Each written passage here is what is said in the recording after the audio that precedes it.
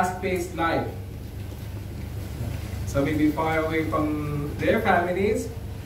Some may have went here for hopes to provide a better life for their families back in the Philippines or their countries. So we want our families to have a good, abundant life. For the hope that our status quo may change. I mean, we we're always seeking to have from from this status to this level. Know? That's a, that's how we think. We want we want to progress. know? We want to see our kids to have a better life, a better future. Now, I I myself, like uh, ten years back, that was my mind. Coming here in Abu Dhabi, I want for a, I wanted for a, for a better life, a better job, a better career. Each and every one of us want to have a better life, better career. We don't want to be stagnant in where we are right now. That's why we we exert efforts. We exert efforts to to try our best. Be noticed by our bosses, so that someday we will have a good career and a good life. Now, we will answer that question today. What really matters or is important in our lives? So, our text is in Acts 17, uh, verse 22 to 24. Uh, we have read already the passage, but we will still again read and dig as we go through the, through the study. Now, before I start, I remember last time I I spoke like uh, almost two hours. so just ring a bell. No, I will I will reduce now. so let's let's continue. So in order to understand our text this afternoon, it's important to have read the previous passages.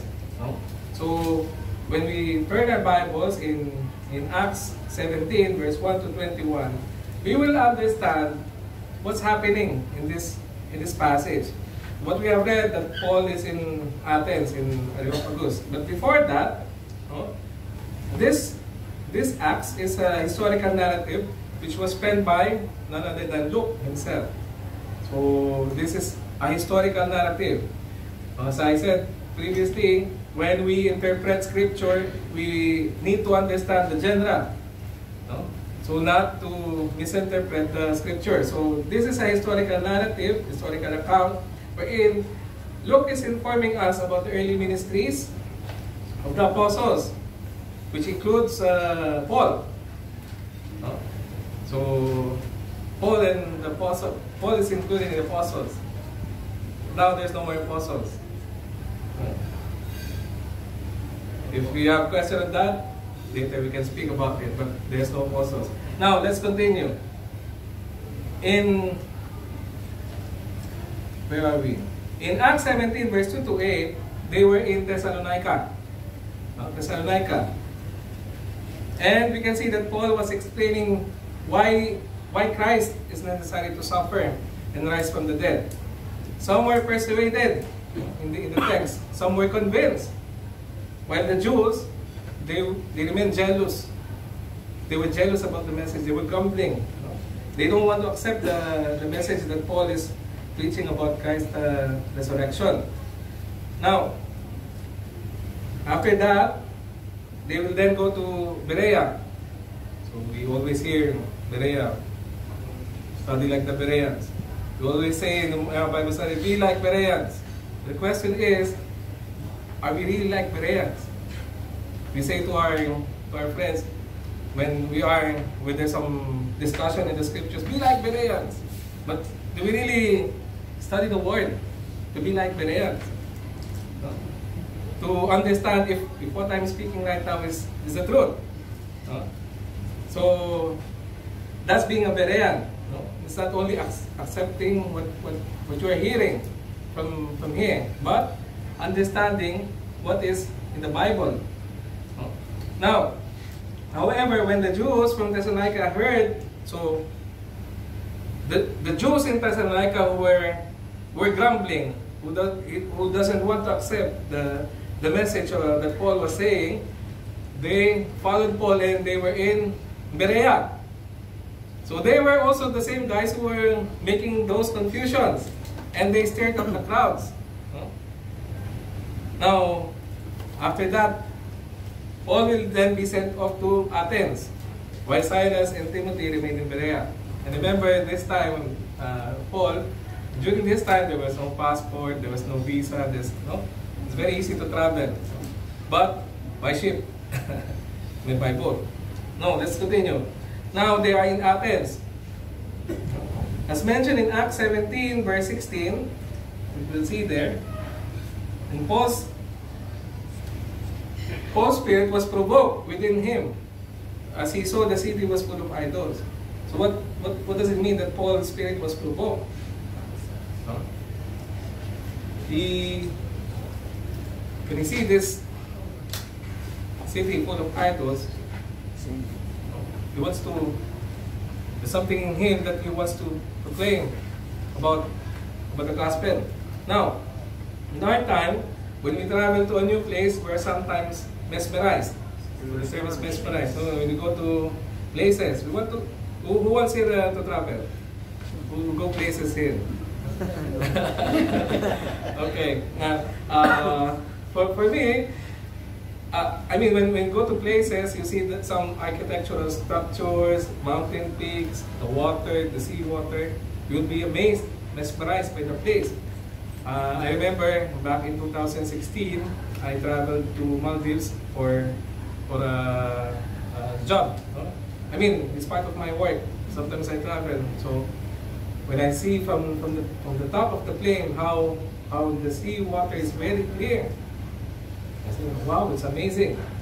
It's it's a it's God's creation. Now, we all know that Athens was famous for its arts, culture, and man-made structures. So when we are in our history books, we're reading about this uh, Athens. No? I know I don't know if, if someone here has uh, gone to Athens. Anyone has gone to Europe or something? Someplace? Okay. oh, so, sa atin lang. Okay. Now, uh, you will hear these uh, places like Parthenon, the Temple of Olympian Zeus, Temple of Athena, Theater of uh. What I'm saying, no, you can Google it uh, later, but the thing is, you will be amazed of, of the structures, the architectural structures that was uh, done during that time. Now, and even up to now, these are only like uh, some pillars, no, but some remnants, but you will still be amazed how, how brilliant the people back then were. And Athens was also a place for philosophers. Sinong, who are philosophers? Ano philosopher? so, not philosopher, but philosophers. They, they are the ones who, who educate the people back then. Like, uh, you will hear Demosthenes, Socrates, Plato, Plato, uh, not the not the Plato, Plato, Aristotle, Sophocles, and Euripides. These are, these are the names of the philosophers that were back in Athens. So imagine in post time, these Athenians were educated or well learned about the knowledge in in uh, philosophy. No? Hellenistic knowledge, we term it Hellenistic or Greek uh, knowledge. They they are they're very happy on that. No? In, in world history, we'll we'll see a lot of that. Now, Athens was a place for knowledge and learning. Well, for Paul, it's totally different. He was not awestruck. Paul see Athens, he was not mesmerized. But he was moved. Something provoked within him. Why? Because there were a lot of the mention. I, I mentioned here the, the temples. No, there are a lot of temples. No? Uh, they, they worship uh, many gods. They they are polytheistic. Polytheistic meaning uh, they worship many gods. Now, back in in Paul's day, in in that same area, they they were called Epicureans and also Stoic philosophers.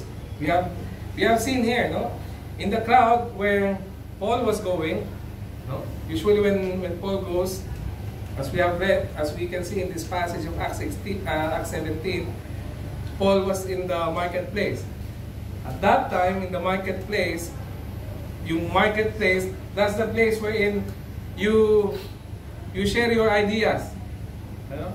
If there's new thing you share, you learn from the marketplace. You? In, in, in our time, when, when there's a in, in, in the marketplace, like in, in our place, no, you it's totally different. you'll, you'll hear gossips no, in the marketplace in our time. But that, back then, they will hear knowledge. You know? They, they like not they like to know to hear new things. Now, there were a group of people like Epicureans. We have we, we have seen here in Acts 17 and Stoics. Who are these Epicureans? So Epicureans, they believe that the pleasures in life was achieved through avoidance of pain and fear. So these Epicureans, they believe that uh, the pleasures, in order to have a good life, is to avoid pain and suffering. So they, they emphasize on feelings. So sounds sounds similar today. Now the Stoics, they were also different. They think that the purpose of life was to have will in accordance with nature. So these Stoics, they are they are the thinkers. So sometimes you'll encounter people who are have great mind. They, they follow like a philosophy and some, you know, they have great minds. They follow some some things. No, the thing is, it's it's on the head. Now, the Athenian crowd was interested in the new teaching that Paul was presenting to them, and encouraged and brought him to Areopagus or Mars Hill. So we, we will see that, no? they put Paul in Areopagus. So what is this place called Areopagus or Mars Hill? We, we, we are familiarized with it as Mars, Mars Hill. Is it something in, in Mars? No. The Romans call it Mars Hill. The Greeks call it Areopagus. The Athenians call it Areopagus. So back then, uh, in Paul's time, Athens was under already the Roman uh, uh, rule. So Mars, you know, the Mars is a god of war on them, the Roman god of war is uh, Mars. So they call this place Mars Hill. So this is the place where where the elders of Athens gather.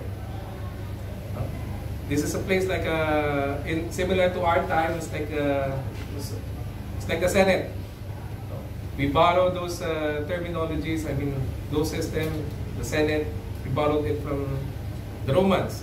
They have the first system in and rule of government like the Senate, wherein they gather and discuss the things about, about the nation. Similarly, in Athens, they have the Areopagus. Meron silang Areopagus. Doon sila nagbabalitaktakan. They debate there you know, and discuss important matters. So Areopagus also means it's a big piece of rock. So it's, it's like in overlooking the the city of Athens. No? It's still there, Mars Hill. and the this preaching of Paul is is there in Greek writing. So if you have a time to go to Athens, this is one place where you can see that inscription here in Acts 17. So now let's continue. In our passage, no, this afternoon, as we have read earlier, uh, in verse 17, so he reasoned in the synagogue with the Jews and the devout persons and in the marketplace every day with those who happened to be there. So this is uh, what what you call no, the, as Peter is saying, uh, be ready to reason. Season, out of season. Paul was was ready to explain the faith that he has. Now, we can see in verse 18, some of the Epicurean and Stoic philosophers, which I already mentioned about their thoughts, also conversed with him, and some said, What does this babbler wish to say? Others said, He seems to be a preacher of foreign divinities. Because Paul was like, it was strange for them. Remember, I told earlier, Epicureans and the Stoics, they have different uh, belief and understanding. In verse 19, and they took him and brought him to Areopagus, saying, May we know what this new teaching is that you are presenting? For you bring some strange things to our ears. We wish to know, therefore, what these things mean. Now all the Athenians and the foreigners who lived there would spend their time in nothing except telling or hearing something new. So as I explained late, earlier, this is the place that they, they hear new things. Now, in, stand, in 22, so Paul standing in the midst of Areopagus said, Men of Athens, I perceive that in every way you are very religious. For as I passed along and observed the objects of your worship, I found also an altar with this inscription, to the unknown God. What therefore you worship as unknown, this I proclaim to you. So this is the time that Paul stands there and teach and proclaim the the gospel. But how, how does he, he do that? No? Paul has two pleas. we will understand the two pleas. The first of Paul's plea was to, to know the true God. To know the true God. This unknown God that they that there's an inscription there to the unknown God. But Paul is to know who this true God is. So the Athenians have plenty of gods, idols, they have idols for any circumstance. So Paul perceived the Athenians to be religious, as we have read earlier. Religious means uh, this is their way, lifestyle wherein they have a God for anything. There's a God for a, for a harvest, there's a God for uh, like any other circumstance, any other event. So they, they worship plenty of gods. Now the Greek word used here is the this the monasterus. It's very hard to, to, to say. deisidaimonesterous, which means either being pious or superstitious. So in this in this word that we are talking about, will the the thing that was used here is being superstitious. So I remember maybe we, we come to foreigner you know, backgrounds, no? Wherein we tend to be superstitious. No? We, we also worship a lot of gods.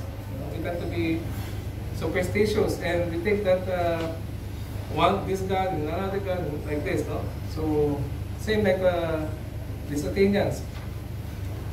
The Athenians were worshiping these idols and due to their superstitious belief, they want to appease their idols by bringing sacrifices and be favored by idols that they worship. So they do sacrifice in order to make their gods happy so that they will have a good fortune. They will have a good fortune. I remember back in, in our country, uh, in the marketplace, we see display of uh, different uh, in in in markets. No? You see you see this. For them, they think that uh, when they have this, it will give them good fortune. So that's the understanding similar to what we are uh, reading right now. But Paul, in Acts 17 verse 23, notice an altar with inscription to the unknown God, which he proclaims to them. So Paul will identify who God is. Paul will speak about theology. Who God is. We have sung earlier, Behold our God. So we understand who, who this God is. First point, in Acts 17 verse 24, God is the creator who made the heaven and earth. 24, the God who made the world and everything in it, being Lord of heaven and earth. So he's, he is the creator. In Job 38 verse 1 to 4, the Lord was asking Job, then the Lord answered Job out of the whirlwind and said, Who is this that darkens counsel by words without knowledge? Dress for action like a man. I will question you, and you make it known to me. Where were you when I laid the foundation of the earth? Tell me, if you have understanding. God was teaching Job who laid the foundations of the earth. This earth that we're standing. Imagine, no? Before we, before in Job's time, they don't have a clear picture. But the thing now in our in our time, we know that the earth hangs there in space. It hangs there in space. There's nothing that holds it. It's there in space. And this earth has, has foundations, as mentioned uh, by, by God, who laid this foundation. So, but the thing is, some people tend to think that the universe was made by random chance. You will hear this uh, like it's by, by it's by random chance. But it's clear from the Bible that God was the creator of all things. He created the world ex nihilo, out of nothing. When, when, when God said in, in Genesis, turn Genesis, Genesis what? Verse 1 it says, In the beginning, God created the heavens and the earth. The earth was without form and void, and darkness was over the face of the deep, and the Spirit of God was hovering over the face of the waters. And God said, Let there be light. And there was light. God said, and there was light. So, ex nihilo, out of nothing. He didn't get any, like a sword, um, no. Out of nothing, through His Word. But for us, it's different. We are formed from the, from the ground. Now, let's continue. The problem is, what's the problem? Man's suppression of truth. As in Romans 1, verse 18 to 23, it says, no? Who kills." Let's go there. Romans 1.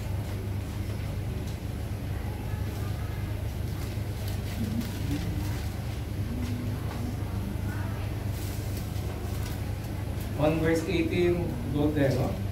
For the wrath of God is revealed from heaven against all ungodliness and unrighteousness of men, who by their unrighteousness suppress the truth. For what can be known about God is plain to them, because God has shown it to them. For his invisible attributes, namely his external power and divine nature, have been clearly perceived ever since the creation of the world in the things that have been made. So they are without excuse. For although they knew God, they did not honor him as God or give thanks to him, but they became futile in their thinkings, and their foolish hearts were darkened. Here, we can see the, the picture, no? God revealed through general revelation through His creation. So when when you when you go out, especially when if there's someone here, you will go to the to the desert, especially at night time. There's no lights, you can see a lot of stars out there. And from this, you can see even if if your friend, if you have a friend who does doesn't know God, you say, "Who made this?" You will be awestruck in this one day, in the stars that are there. Million, not only million, there's billions of stars. And who made this? No. Now, let's continue. His creation reveals that there is a creator. So, this one is, we're talking about, in theology, it's a general revelation to the creation. No? Now, But the problem is people tend to be wise and exchange the glory of the immortal God to worshiping the creation rather than the creator. So that's the first point. God is creator.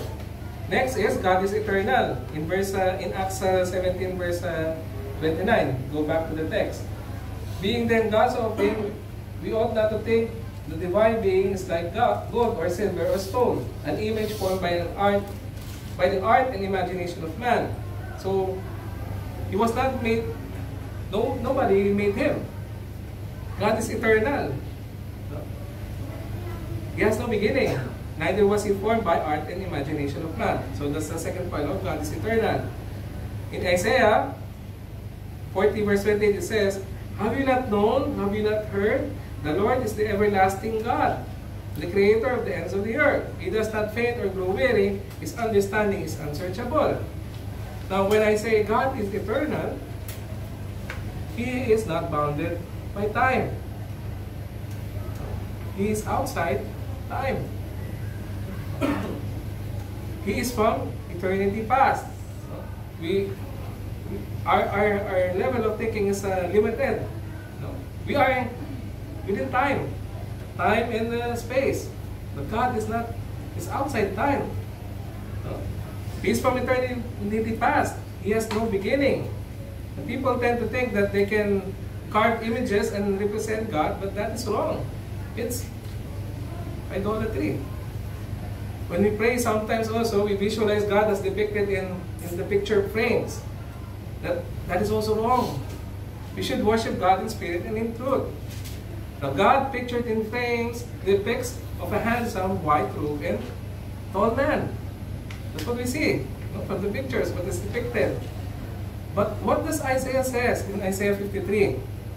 We think that God is like tall, long hair, and white robe, and you know, the picture that's uh, this is framed, you know, in, in some places. Now, what does Isaiah says? Isaiah 53, verse 2 to 3.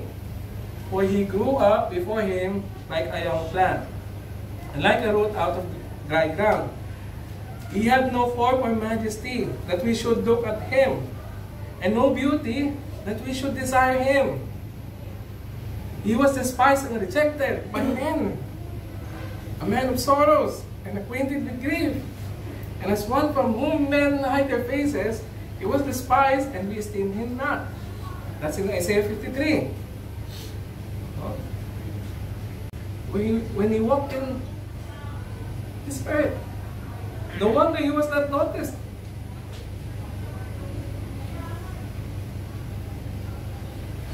And sometimes we depict God in a different way. The God of the Bible cannot be depicted in ways we want him to be.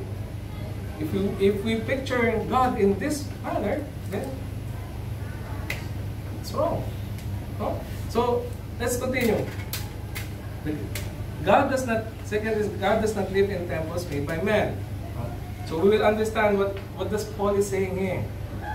In verse uh, Acts uh, 17, verse 24, in we have read earlier. Now, back in the Old Testament, Solomon asked in 1 Kings 8, verse 27. We go to 1 Kings 8.27.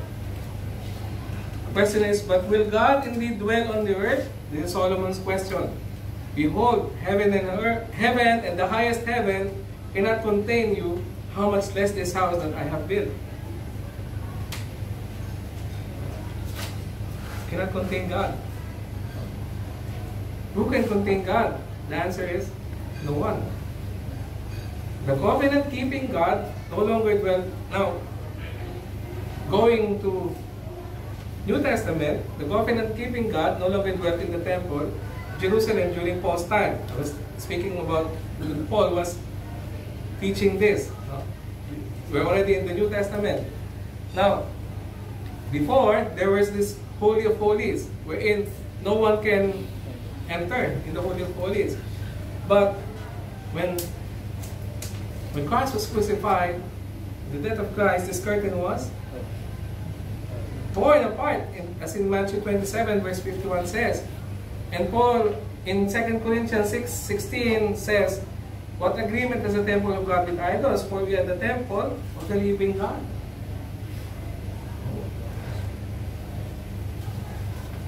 Let's I will make my dwelling among them and walk among them, and I will be their God, and they shall be my people.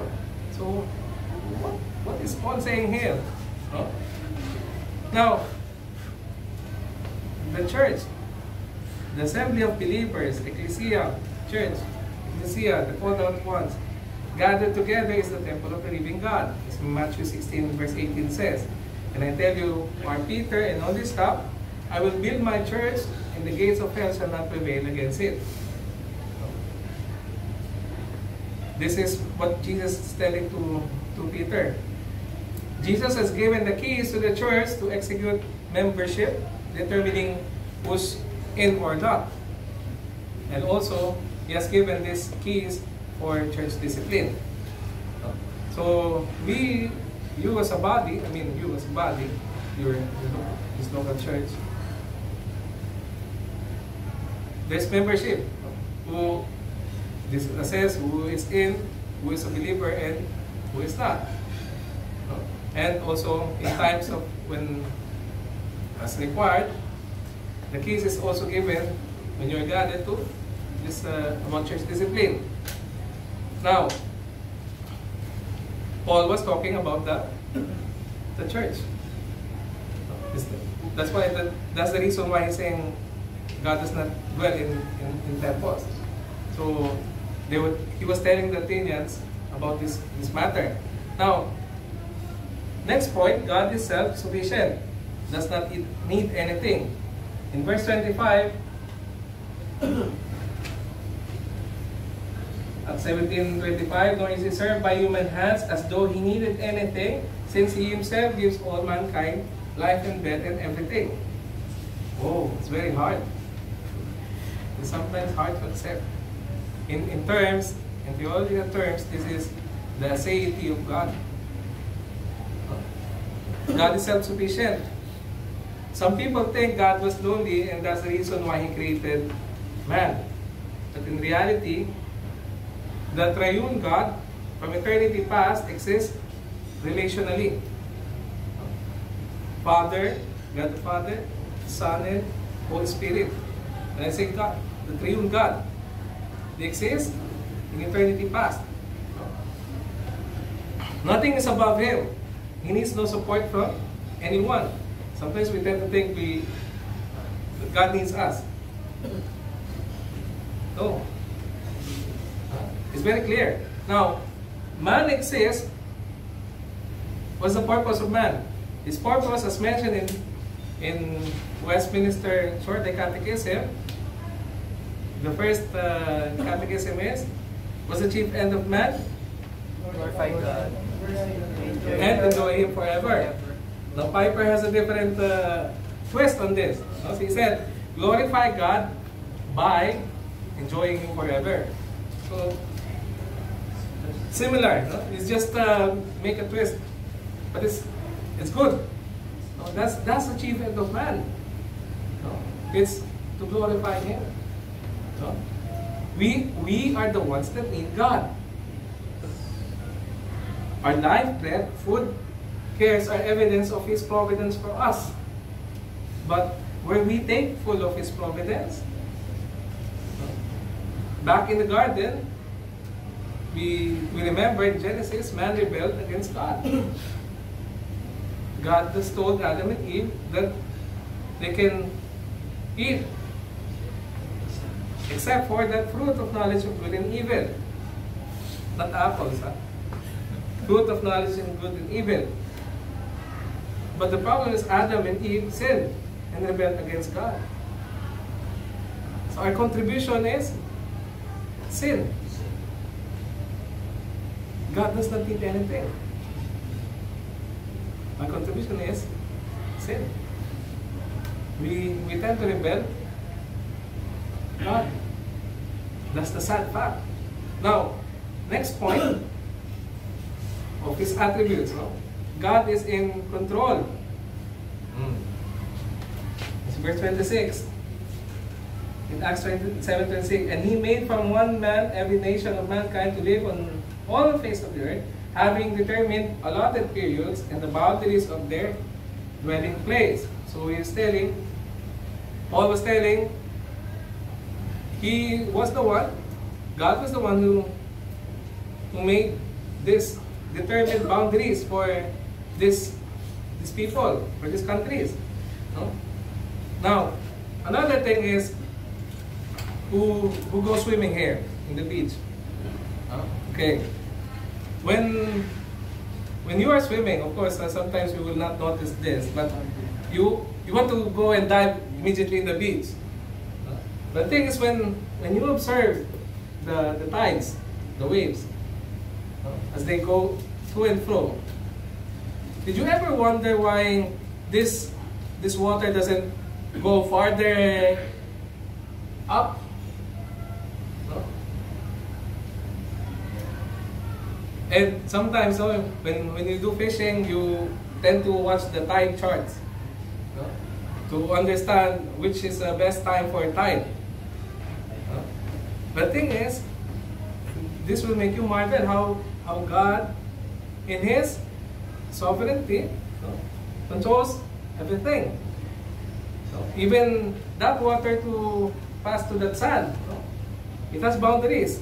It won't reach unless there is flood. No?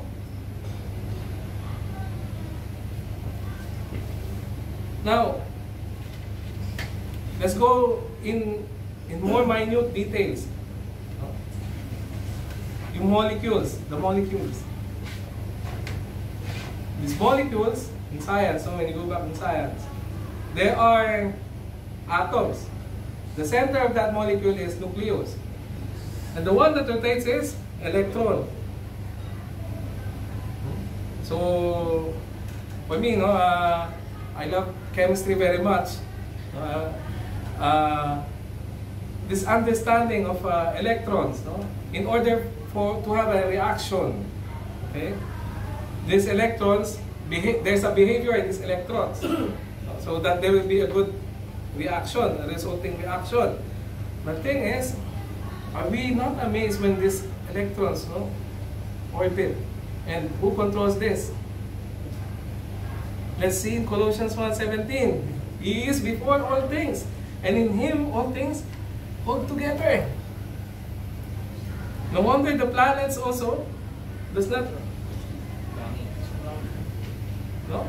There's gravity, there's there's order. And, and even to the minute details. Even to our bodies. No? Who, who repairs? Who repairs uh, our body? No? In sickness. It's God. When we have wound, how does it, uh, how is it being repaired? The cells in there, uh, in God's providence, repair itself. Do we have control on this? No. He is sovereign indeed in all things, in any circumstances. And understanding the sovereignty of God is very important. Because if we know that God is in control, we know that even if we have a hard circumstance, it doesn't matter. God is in control. And and he says, no, in let's go to Romans 8:28. And we know that for those who love God, all things work together for good. For those who are called according to his purpose. Remembering Joseph in the Old Testament, when he was thrown into the well and was thrown into Egypt, God was in control. But that was a bad circumstance. Bad circumstance for him. But he said in Genesis 15, no? This, the thing that happened to him, God turned into good. But what realization we have there? We are, we are grumblers.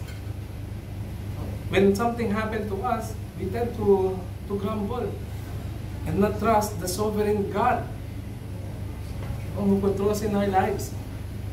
Now, next attribute, though God is transcendent, in verse 20, let's go back to Acts 17, 27.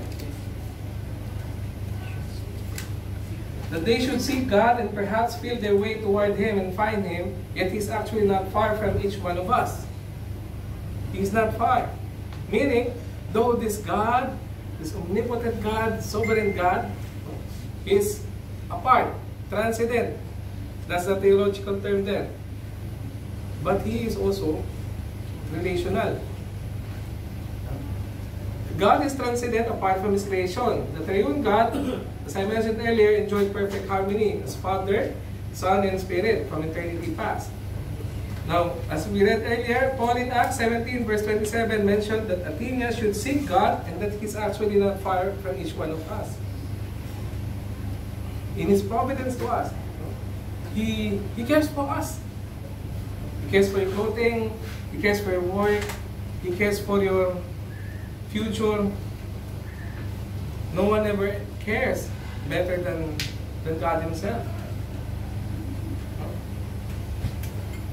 Now, next point, God is a judge.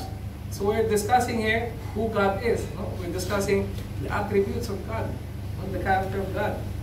So in verse 30, Acts 17, 30, verse 31, it says, no, uh, the times ignorance God overlooked, but now he commands all people everywhere to repent, because he has fixed a day on which he will judge the world in righteousness by a man whom he has appointed, and of this he has given assurance to all by raising him from the dead. Hmm. Why these things Paul was saying? No? In, in Acts 17.31, Paul mentioned that God has fixed a day on which he will judge the world in righteousness by a man whom he has appointed. In Psalm 75, 8, it says, For in the hand of the Lord there is a cup with foaming wine, well mixed, and he pours out from it, and all wicked of the earth shall drain it down to the dregs. What the, the psalm is saying, it says that there is a, a coming time wherein God's wrath will be poured. And one day, the wrath of God will be poured in, in judgment. Why it's necessary? Bakit kailangan? Kasi God is just. God is loving. God is just. God is a holy God. God is holy, but all men fall short of God's glory. Sometimes, some people tend to depict God as a loving God only. Some people tend to think, I don't know if you have these memes out there, out there Facebook memes, no? saying uh, God will accept you for who you are. But that's not the case. Yeah, God is loving. I remember there's a one ancient ancient uh, uh, teacher in the name of uh, Marcion during the time of the early church fathers. This this guy, when he read the Bible, he removed every details that tends speak about God's wrath.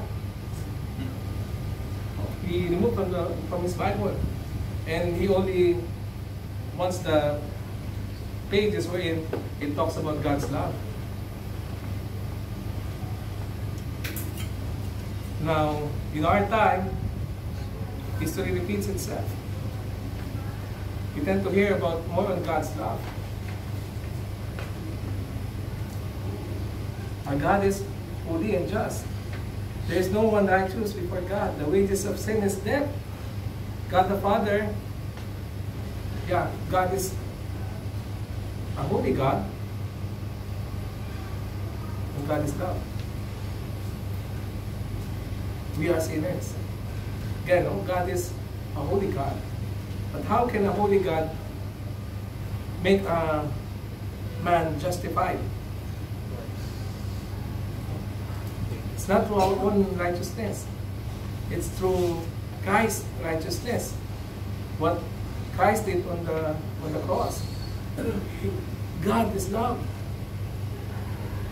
I'm doing it like this. God is only, God is a merciful God.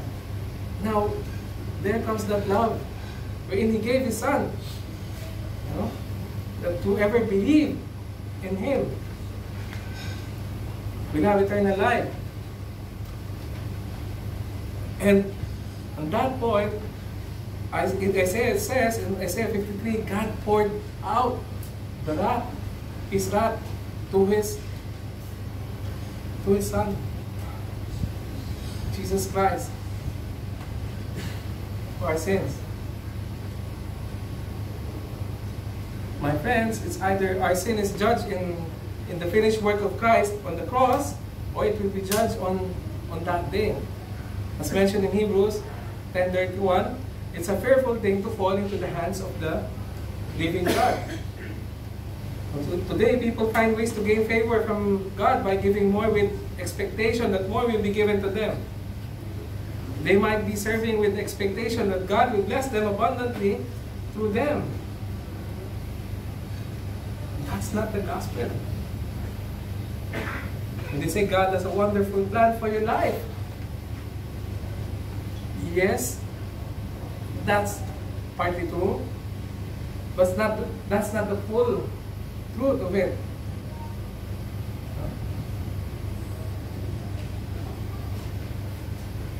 Now, we have read, we have read the, the attributes of God through Paul, describing who this unknown God is.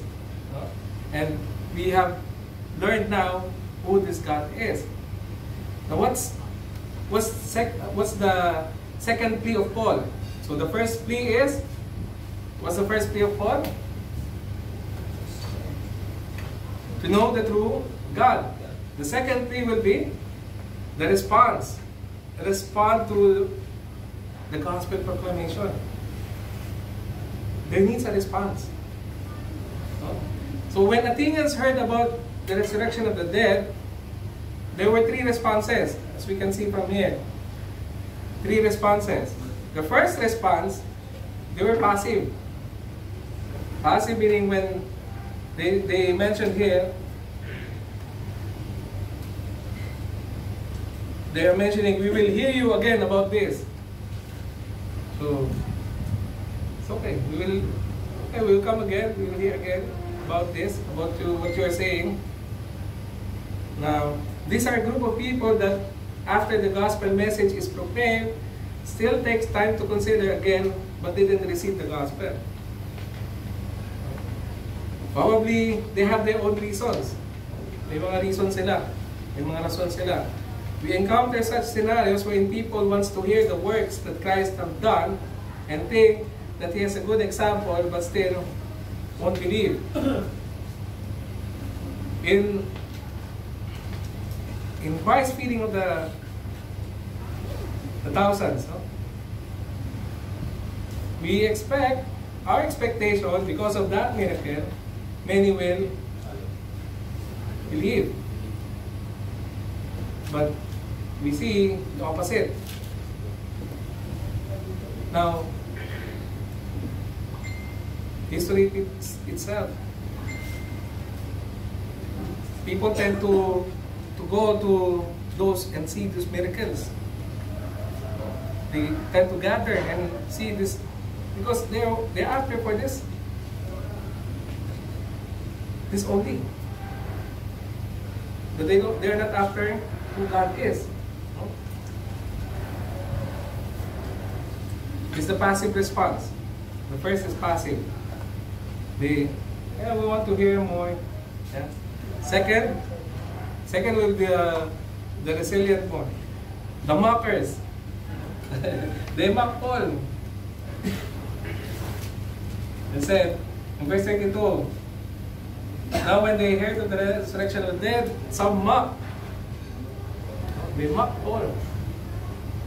These are a group of people that uh, reject the gospel. So it's expected as 1 Corinthians 1 verse 18 to 23 mentions. In 1 Corinthians uh, 1, 18 23. For the word of the cross is folly to those who are perishing, But to us who are being saved, it is the power of God. For it is written, I will destroy the wisdom of the wise, and the discernment of the discerning I will thwart. Where is the one who is wise? Where is the scribe? Where is the debater of his age? Has not God made foolish the wisdom of the world? For since in the wisdom of God, the world did not know God through wisdom. It pleased God through the folly of what we preach, to save those who believe. For Jews demand signs and Greeks seek wisdom. But we preach Christ crucified, a stumbling block to Jews and folly to Gentiles. Why it's folly? It's foolish, foolishness. Why? Earlier I have said Athenians, it's a, it's like they they like uh, this new things, new learnings, philosophies. They they they are educated by their they are learned by their philosophers. But the thing is, because of this, no, they they don't want to accept it. They don't want to to accept a message that a person, a man, will die for their behalf. A God man will die on their behalf. So it's foolishness for them. Now, in, in sharing the gospel, when we, share it, we, we will encounter also this this uh, kind of people. But how do we respond to them? We love them. We pray for them. If they mock us, we pray for them. We still love them. Show that love that was given to us uh, in the cross. That's that's our illustration of how God loved us, and we are to do it the same to others. Yes, we have the truth, but we also need to speak in love. Because if one did the truth without love, then our testimony is diminished. You see, ah, gee, these people, they, they hold this, but the response is different not not the same what is written here in the in the Bible. So we don't we don't retaliate. We don't speak against, but we we pray for them and continue to pray. Continue to pray. Now later on why why we, we need that. Later on we will discuss, no? third response, the third response that we're seeing here in Acts 17 is like Dionysius and Damaris. So Paul went out from their midst, but some men joined him and believed, among whom also were Dionysius, the Areopagite, and a woman named Damaris, and others with them. You see, they are the ones who receive the message of the gospel. They believe in Jesus Christ. No? Damaris, a woman, a commoner, sabihin commoner, ordinaryong uh, mamamayan. And Dionysius, Areopagite, he is a, the leader, one of the leader. When you say Areopagite, he is one of the leader of Athens. Now, how many how many fruits that Paul has? How many? Two. Two?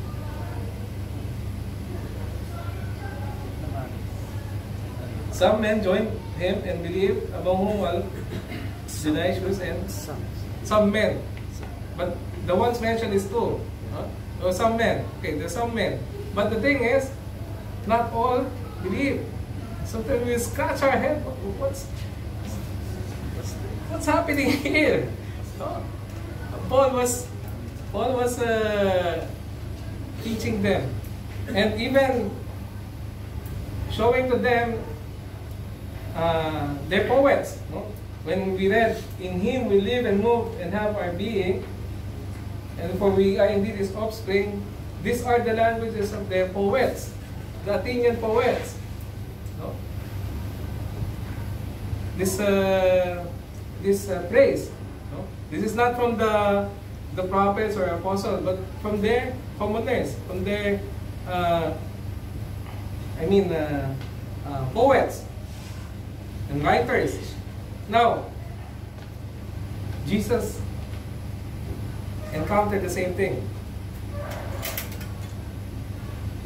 Let's go to John.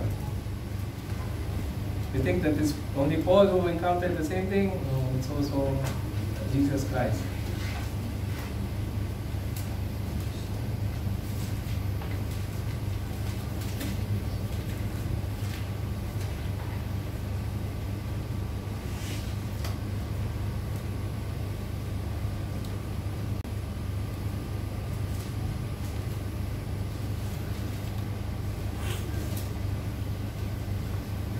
Let's go to John 6. 52 till uh, 71. I will read, huh? we will read this one. The Jews then disputed among themselves, saying, How can this man give us his flesh to eat? So Jesus said to them, Truly, truly, I say to you, unless you eat the flesh of the Son of Man and drink his blood, you have no life in you. Whoever feeds on my flesh and drinks my blood has eternal life, and I will raise him up on the last day. For my flesh is true food, and my blood is true drink. Whoever feeds on my flesh and drinks my blood abides in me, and I in him. As the living Father sent me, and I live because of the Father, so whoever feeds on me, he also will live because of me. This is the bread that came down from heaven, not like the bread the fathers ate and died. Whoever feeds on this bread will live forever. Jesus said these things in the synagogue as he taught at Capernaum. When many of his disciples heard it, they said, This is a hard saying. Who can listen to it? But Jesus, knowing in himself that his disciples were grumbling about this, said to them, Do you take offense at this? Then what if you were to see the Son of Man ascending to where he was before? It is the Spirit who gives life. The flesh is no help at all. The words that I have spoken to you are spirit and life. But there are some of you who do not believe. For Jesus knew from the beginning who those were who did not believe and who it was who would betray him. And he said, This is why I told you that no one can come to me unless it, it is granted him by the Father. After this, many of his disciples turned back and no longer walked with him. So Jesus said to the twelve, Do you want to go away as well? Simon Peter answered him, Lord, to whom shall we go? You have the words of eternal life, and we have believed and have come to know that you are the Holy One of God. Jesus answered them, Did I not choose you, the twelve, and yet one of you is a devil? He spoke of Judas, the son of Simon Iscariot, for he, one of the twelve, was going to betray him.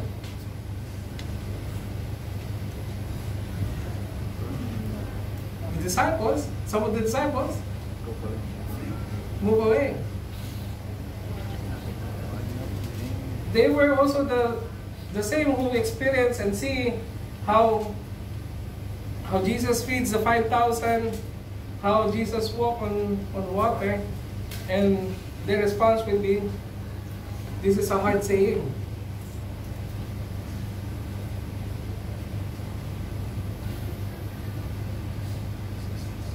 Oh, we're thinking Jesus is that's already Jesus. Paul has this only few fruits. Why? Because salvation is a work of God. It's not how articulate you are. It's not how eloquent you are. It's not how you understand more of the Bible, how you, you memorize the scriptures. Salvation is a work of God. We hear from, we see from this passage, unless the Father draws to Christ. The word there is draw. Draw, no? So it means, example, it's like a well. An example is to by force. By force. So, salvation is a work of, uh, of God alone. It's not through ourselves. It's not through our, no, our, our understanding. It's, it's not Paul being efficient teacher of the gospel.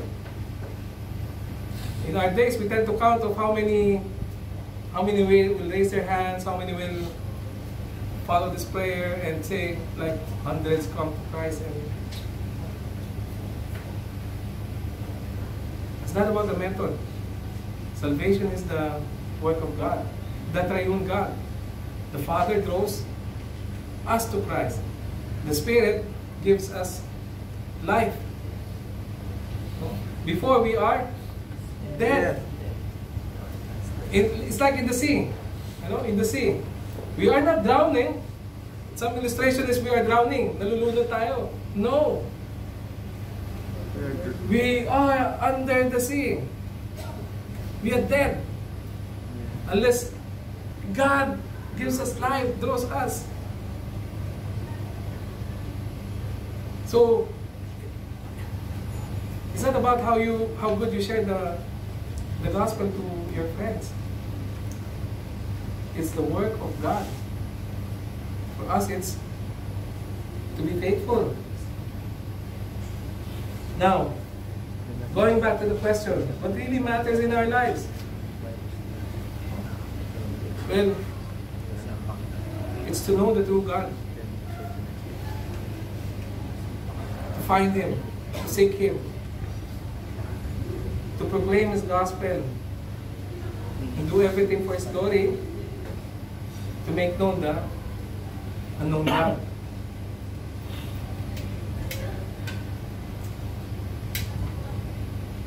I hope this uh, afternoon, no, we we don't trust with our methods. It's not we don't trust with our programs. Just be faithful. Don't don't say that uh, I, I learned only few passages. Yeah, be, be diligent. Study study the word and share share this message. It's a good news. But there is hope in Christ. But don't tell them they will have a good life. No. There is suffering. There's a cross to carry. And the objective of that is someday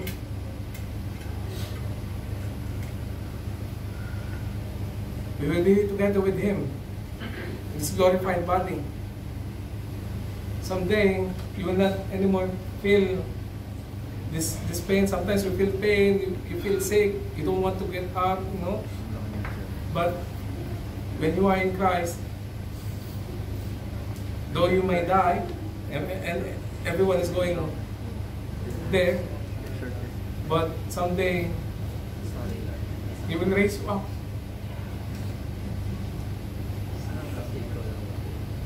That's the hope. Share that hope. Let's pray. Uh, Father, we, we thank you, God, for this afternoon. We, we pray, oh God, that we will truly understand who you are and we will we will share your message, oh God, boldly and teach us, Lord, to be diligent in your word. Teach us to study your word so that we can share your gospel. In Jesus' name we pray. Amen.